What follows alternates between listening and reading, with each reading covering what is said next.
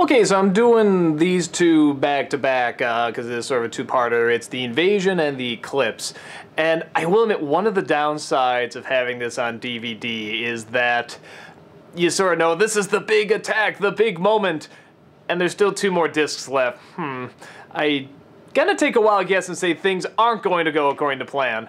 So that that kind of sucks. But on the other hand where's it gonna go? And I really enjoy going into this knowing, well, this is like the big climax of any other show or story, but we're only about halfway through this season, so what's going to happen? I don't think they're gonna do like a million endings like in Lord of the Rings.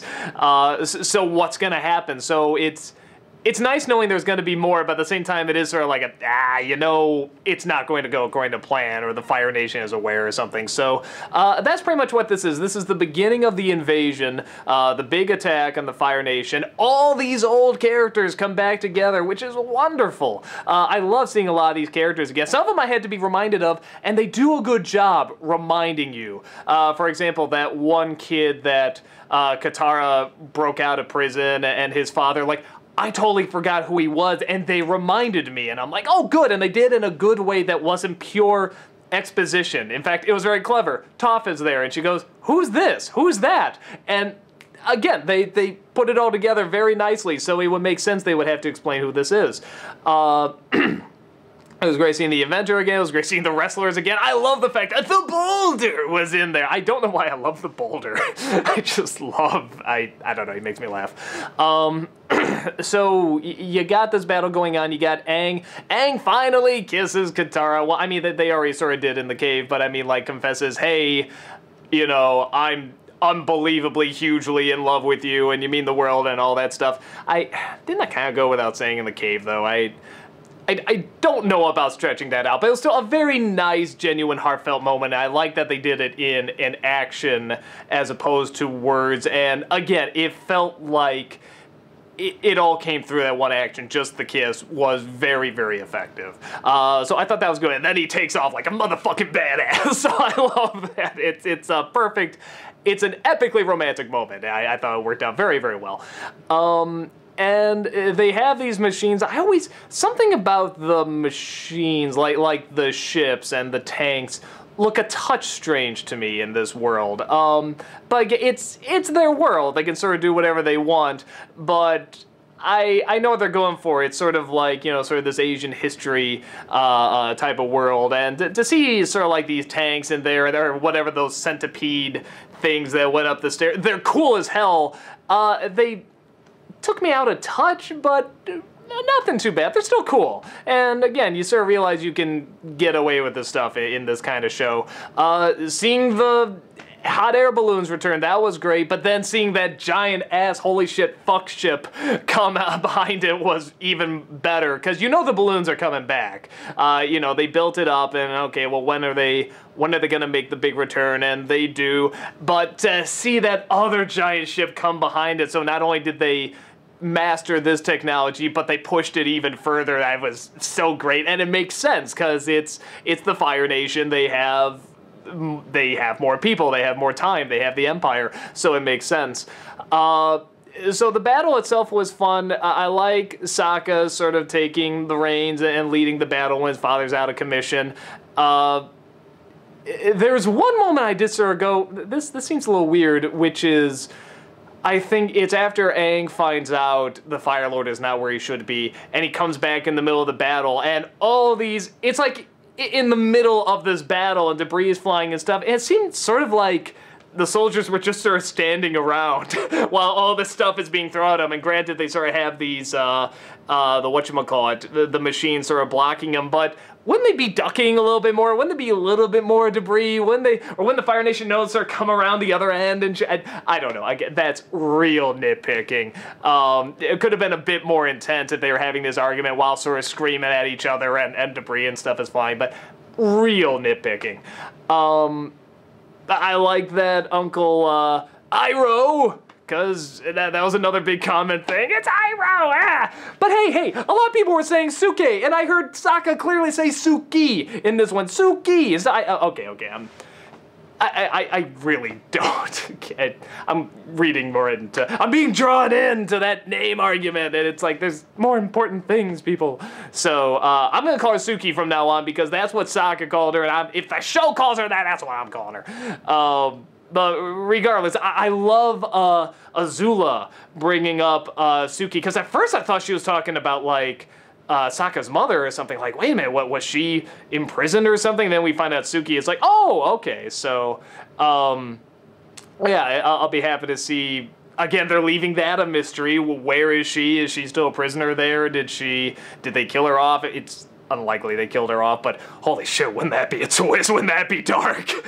Um, so you got that stuff going on. It's a great battle with Azula. It's great seeing these people, uh, even though their powers are, are taken away, uh, that they can still really, really fight. That is to say, the like Azula and, and uh, uh, you call it, uh, Zuko and so forth, uh, they can still fight regardless. I, I like seeing that because uh, it's just smart. And I'm sort of wondering how did they know about the invasion? Did they explain that before? I don't think so. I, I think they're building that up for a reveal later. Uh, but but that's a good mystery. How did they know? Uh, did they just have spies or whatever? Um, I, I like the Earth Kingdom. Uh, people coming in helping Azula. I mean, it's like I like this was a well thought out plan. I like her just having them chase her. Like again, that was really smart, and how she can work into their emotions and get them pissed off, and, and all that. Stuff. It's just it's a great plan. Um, I love that Zuko is finally coming around, and I like that he. It seems like he has a chance to kill his father, but he doesn't. He says that's the Avatar's job. That's his destiny.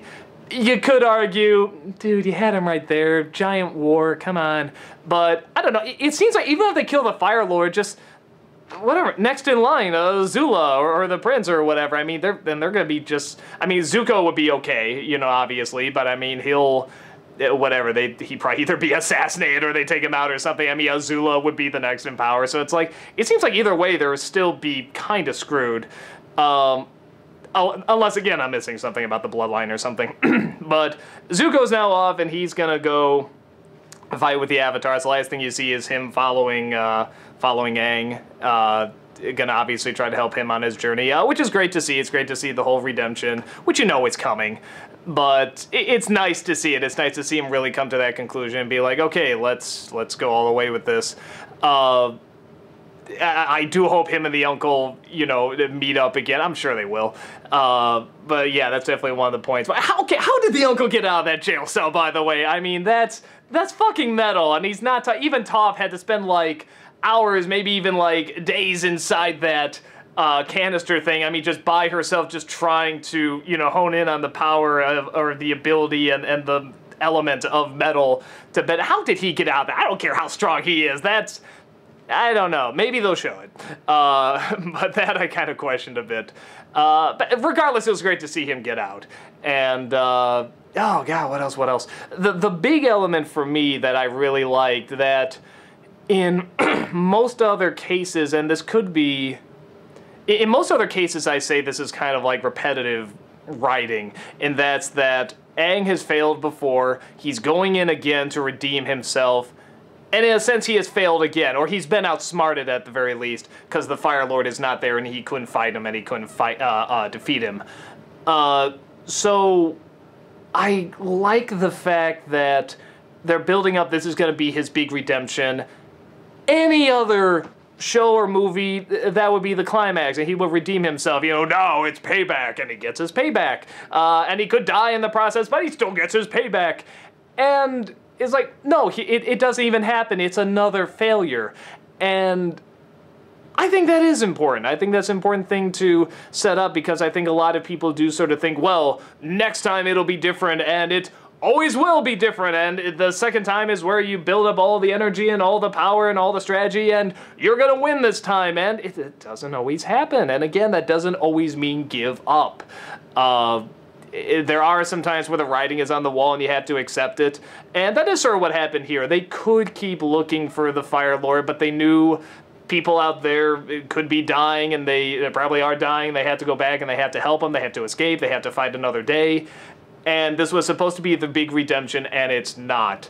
And that's just such another tough defeat to take. And on top of that, and now the children are being separated from the parents and Aang has to go off there and he has the responsibility looking after these people and he probably has to hear over and over at least in his head that he has failed them and now the adults are all in prison or being tortured or whatever and it's just so much more to be thrown on him and like I said, in any other show, I would say this is too repetitive because we've seen this. We've seen him be harsh on himself and say, I'm not going to fail again.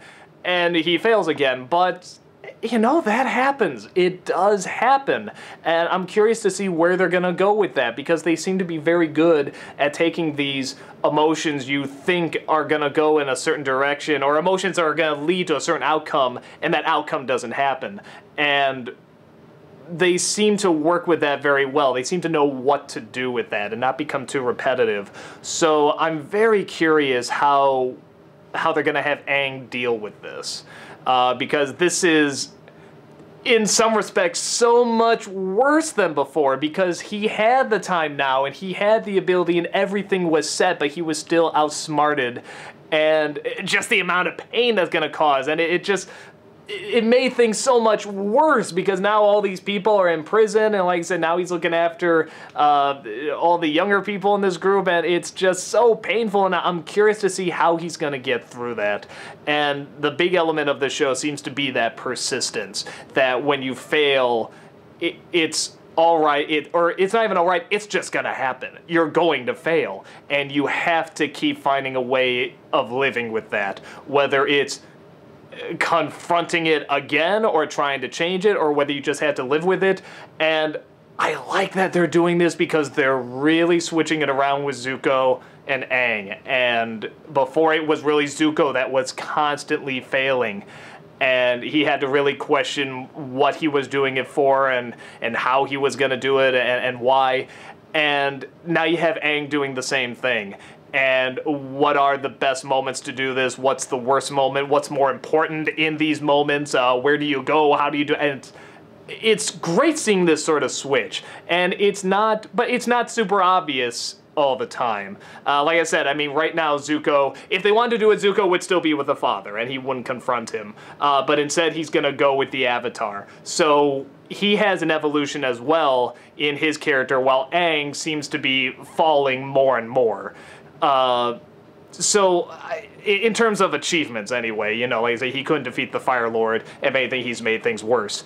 So, I like seeing this all sort of balancing out, the sort of balancing act, and it's not always. I was really afraid for a while that just the whole show, all the seasons, was going to be Zuko chasing him. And I'm glad it's not. I'm glad early in the second season, Zuko decides to leave the Fire Nation and uh, other people are after him. And I'm glad that in the third season, it's very much like they were defeated and now it's time to rise back up and it's the fight back. And how do you do it? Will it even be successful? Because now they're introducing these uh, possibilities, at least in the realm of this world, that it maybe it won't be successful. This was like their big moment, and it totally got fucked up. So I'm, I mean, even though we know it's going to turn out good in the end, again, Nickelodeon, um, you know, you know it's going to be all right, but you don't know how, and you don't know the journey that they're going to go through, and they make this journey so fascinating and so enjoyable and so heavy and so deep and so well thought out that I'm so looking forward to where this is going to go, and it doesn't just feel like repetitive writing. So I very much enjoy that they had this sort of in the middle of the third season and not the end. I think that was very, very clever because now you don't know exactly where it's going to go. Or rather, how it's going to get there, I should say. So, oh, and you know, they do say what happened to the mother. I had so many people sending me messages like, yeah, you never find out what happens to the mother. That's never explained. You know, she's banished. I mean, that's that's all I need. I, I don't need to really know what happens to her afterwards. If I do, great. If not, I totally accept the fact that it's just something she has to live with. I was referring more to why was she leaving? And they do. They say that she's banished. So that totally makes sense. I'm cool with that. If that's where they stop, that's fine. Uh, and I do know there's a comic. Someone actually gave me the comic at the uh, uh, the con. Was it the the Promise? Uh, and I didn't look through it much because I'm like I gotta wait till I get through the season. Um, but uh, yeah, I mean, it's I'm totally cool with that, and if I have to read what happens to her, that's fine too. But if they didn't go into any more detail, that's fine. You know, that's that's life. Sometimes you never find out where these people go. Uh, I would say the only other nitpick before I wrap up here. Uh, you know, they finally show this Fire Lord, and they've been building up his appearance. They've been keeping him in shadow. When they finally see him, he's not scarred and disfigured. And say he's this very almost peaceful-looking person. I think that's much more frightening. And I was kind of looking forward to a little bit more, sort of like maybe the Emperor from Star Wars. That's the best comparison I could come up with right now, where everything is sort of in his court. Even if things go wrong, it's sort of like he, he wouldn't show it. He would be very heartless and almost uh, have no emotion. When Zuko confronts him, though, he seems legitimately like, What? Why would you lie about that? Oh, you little scurvy, you little punk. You, oh, so you're going to do this now? Well, and I. I would have liked it if there was a little less emotion. I think that's when he looks the most frightening and the most scary. Um, anything else just sort of makes him look like I don't want to say a thug, but sort of like your traditional villain. And this is like the top guy. This is your Hitler. This is your everyone wants to figure out what the hell's going on inside his mind type character. And they, they that made him almost a little too simple. Um, and sometimes a villain is very simple, even the ones we think are the most complicated. But eh, I don't know. Eh, that I could have seen something a little bit more there. But they also do address sort of the idea behind the Fire Nation and why this takeover was happening. Sort of, I don't want to say why there's still good people in the Fire Nation, but what the ideology is. And I think they did in the backstory with uh, the Avatar and the Fire Lord. And here with Zuko really realizing how much the world hates the Fire Nation and how it's actually justified. Uh, that he was actually sort of under this delusion that they were spreading something good and maybe that was kind of the original intention of the Fire Nation, but now it's gotten from spreading something good and making it all equal, the ultimate equalizer, whether the world realizes it's good for it or not, to just keeping the power. It's no longer what is best, what they feel is best for the world. It's just about keeping that power. And I, I think that was pretty effective. And I think it's so easy just to show evil empire and that's it. And the show I mean, in the opening, they have to simplify, I mean, this very complex backstory uh, in its opening very quickly. I think they do a pretty good job, but there is sort of this fear oh, is this just gonna be they're bad and that's it? Uh, and no, they.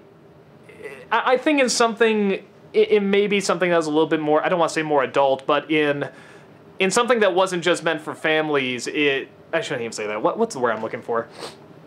In something that is, hey, this is only for adults, uh, and, and uh, screw the kids, you know, and screw the families. This is only for adults. They could have gone into more detail about it, but I think for a family show to get everybody involved, to still have everybody understand, to keep everybody on the page and keep coming back to it, they balanced it out pretty well, uh, explaining what they were originally trying to do and how it has sort of changed, how it has become just wanting to keep this status quo and keep all this power and control as opposed to wanting to do something better for the world. So I, I, I think that was a good balance. So, uh, yeah, that's a lot of talking, but again, it is two episodes, and I greatly enjoyed it. Uh, immensely looking forward to where it goes next. So, yeah, uh, I'll see you wherever it goes next.